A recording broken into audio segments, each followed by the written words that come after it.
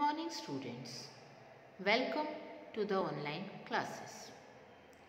Today we will once more read our chapter number 4 our earth and its neighbors. Now you know very well that what is our earth made up of. हमारी जो अर्थ है वो किन किन चीज़ों से बनी हुई है? Our earth is made up of land water and air जिसमें 75 percent of our earth is covered with water and 25 percent of our earth is covered with land पता है आपको? Major part of our earth is covered with water our earth is a very beautiful place where we all live. बहुत सारी चीज़ें हैं यहाँ पर अर्थ पे. प्लांट्स हैं एनिमल्स हैं ह्यूमन बींग्स हैं माउंटेन्स वैलीज प्लेन्स हिल्स बहुत सारी चीज़ें हैं हमारी अर्थ पर, जो हमारी अर्थ को बहुत सुंदर बनाती है. It is also called a blue planet क्यों कहते हैं blue planet due to the presence of water on it it looks blue in colour and life is possible only on the earth due to the presence of air and water which are needed for life ये आपको picture दिख रही है हमारी अर्थ की। कैसी दिख रही है आपको? It is a very beautiful picture of our earth our earth looks beautiful our earth is surrounded by a layer of air हमारी अर्थ के आसपास एक एयर की लेयर है जिसको हम बोलते हैं एटमॉस्फियर हम इस चैप्टर में पढ़ रहे हैं अर्थ और उसके नेबर्स के बारे में। अभी आपको अर्थ के बारे में समझाया है। अब हम पढ़ेंगे प्लैनेट्स आपको पता है प्लैनेट्स क्या होते हैं? प्लैनेट्स वो होते हैं जिनके पास अपनी खुद की हीट और लाइट नहीं होती है। The earth is very far from the sun हमारी जो अर्थ है सन से बहुत दूर है और ये उन एट प्लैनेट्स में से हैं। कितने प्लैनेट्स हैं? हमारे सोलर सिस्टम में एट प्लैनेट्स हैं। तो अर्थ उन एट प्लैनेट्स में से एक है जो सन के आसपास घूमते रहते हैं। एट प्लैनेट्स के नाम आपको पता है। कौन कौन से हैं? You can see here the picture of eight planets the names of the eight planets कौन कौन से हैं? Mercury, Venus, Earth, Mars, Jupiter, Saturn, Uranus, Neptune. कितने प्लैनेट्स हो गए टोटल एट प्लैनेट्स हमारी अर्थ वो भी एक प्लैनेट है।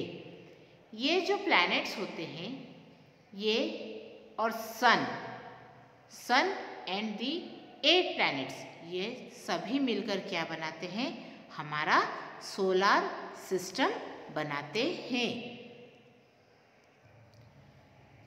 अभी मैंने आपको बताया कि प्लैनेट्स के पास अपनी खुद की हीट और लाइट नहीं होती है। तो फिर ये प्लैनेट्स हमको स्काई में चमकते हुए कैसे दिखाई देते हैं? प्लैनेट्स सन की रोशनी से चमकते हैं। सन की लाइट से चमकते हैं। जो सन की लाइट होती है, वो जब इन प्लैनेट्स पे पड़ती है तो ये प्लैनेट्स रिफ्लेक्ट करते हैं उस लाइट को, जिससे ये हमको चमकते हुए स्काई में दिखाई देते हैं। Our earth appears to be a very big place to us हमारी जो अर्थ है, वो हमें कैसी लगती है? बहुत बड़ी लगती है। लेकिन सन और स्टार्स, कुछ स्टार्स ऐसे होते हैं, जिनके कंपैरिजन में हमारी जो अर्थ है, वो बहुत छोटी है। क्या आप इमेजिन कर सकते हो कि हमारा जो यूनिवर्स है, वो कितना बड़ा होगा? जिसमें सन है, मून है है ना? स्टार्स हैं, एट प्लैनेट्स हैं तो आप सोच सकते हो कि यूनिवर्स कितना बड़ा होगा, जिसमें ये सारी चीज़ें हैं। तो हमारा यूनिवर्स कितना बड़ा होगा, आप नहीं सोच सकते हैं कि जो हमारा यूनिवर्स है, वो कितना बड़ा होगा।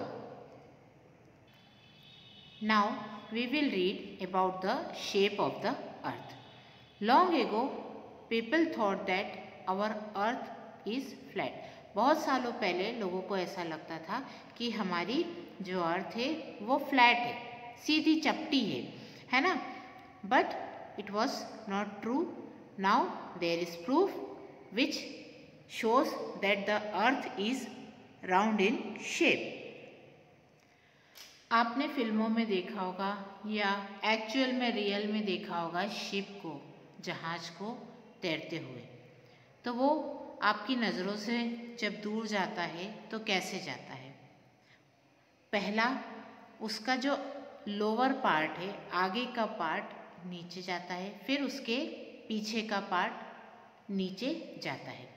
है ना? ऐसे ही आपको दिखता है कि पहले आगे की जो शिप है, वो आपको दिखना बंद हो जाती है फिर धीरे धीरे पीछे की शिप भी आपको दिखना बंद हो जाती है। ऐसा क्यों होता है?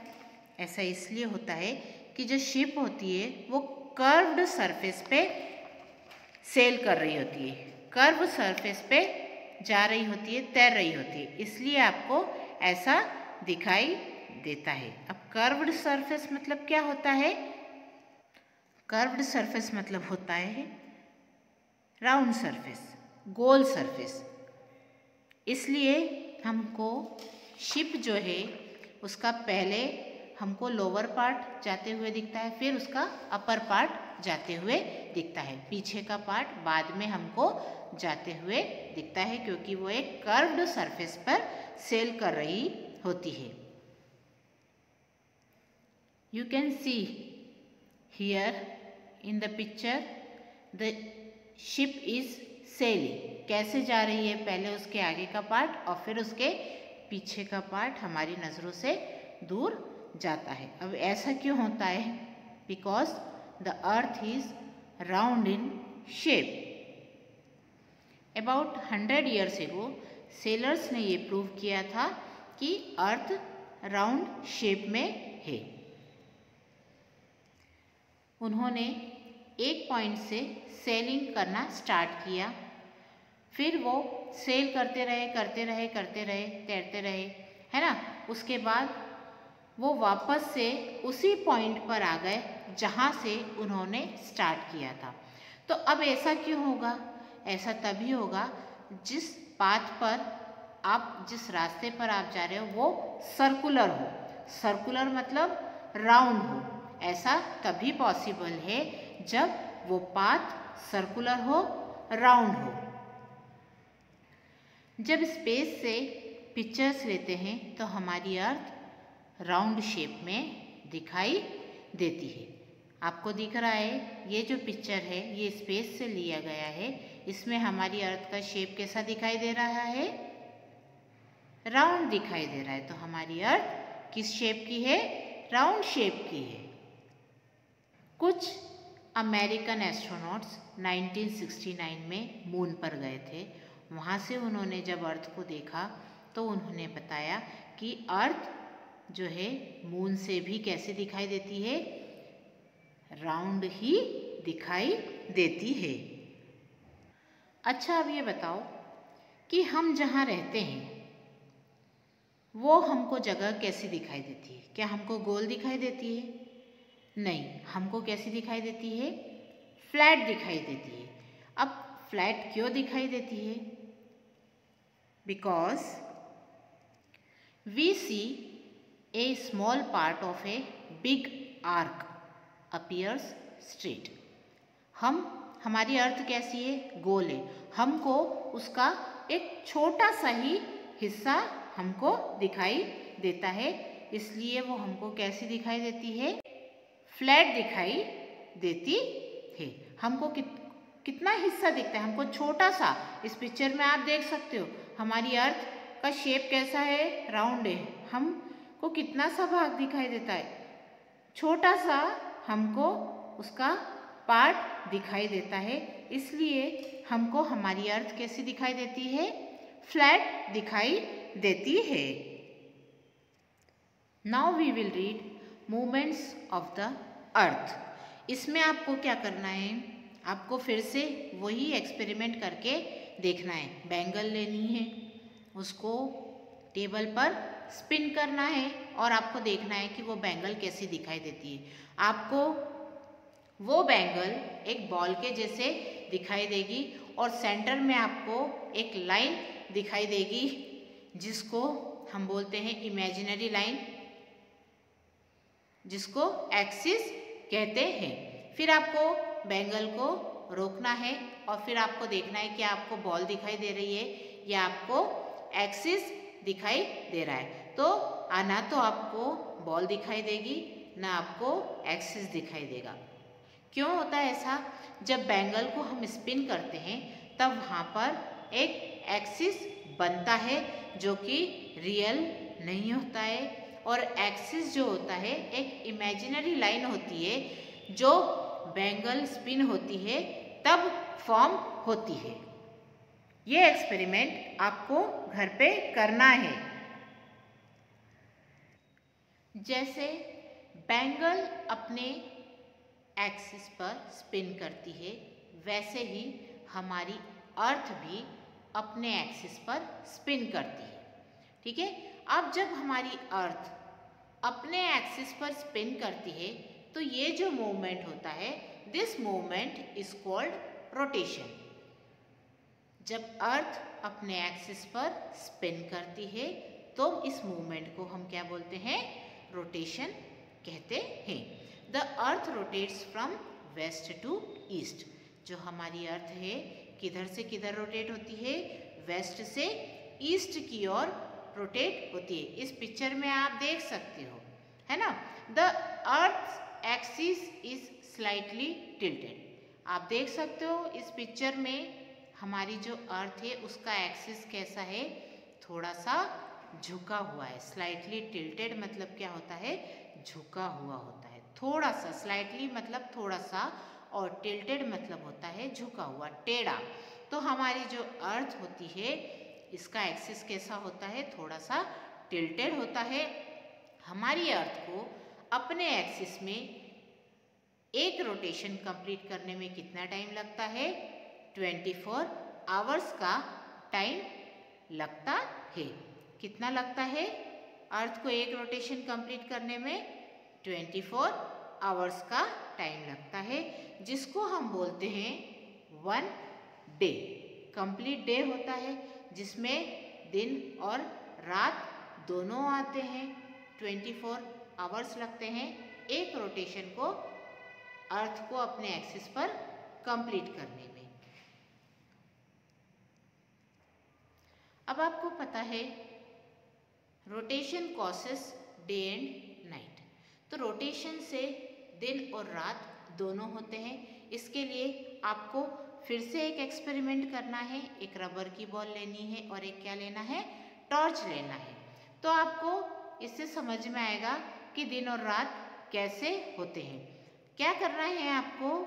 सबसे पहले जो बॉल है, उस पर एक मार्क लगाना है ए फिर आपको टॉर्च ऑन करके बॉल को टॉर्च के सामने रखना है। ए मार्क वाली जो पोर्शन है, उसको आपको टॉर्च से ऑपोजिट डायरेक्शन में रखना है। जैसे इस पिक्चर में शो किया गया है नंबर वन वाली पिक्चर में, आपको क्या करना है? बॉल को उसके सामने रखना है। तो जो मार्क लगा हुआ है, उस पर टॉर्च की लाइट नहीं आ रही है। फ़र्स्ट और सेकंड पिक्चर में आपको दिख रहा है कि जिस पर मार्क ए लगा हुआ है, उस पर टॉर्च की लाइट नहीं आ रही है और जिस पर मार्क नहीं लगा हुआ है और जो पार्ट बॉल का टॉर्च के सामने है, उस पर लाइट आ रही है। दिख रहा है ना आपको? आप करोगे तो आपको समझ में आएगा। फिर आपको क्या करना है? आपको बॉल को घुमा देना है। अब जो ए पार्ट है, वो किसके सामने आ जाएगा? टॉर्च के सामने आ जाएगा। और जो बिना मार्क वाला पार्ट है, वो टॉर्च से दूर हो जाएगा। तब क्या होगा? ए मार्क के जो पार्ट है, उस पर लाइट आ रही है और जो दूसरा पार्ट है, जो टॉर्च से दूर है, उस पर लाइट नहीं आ रही है।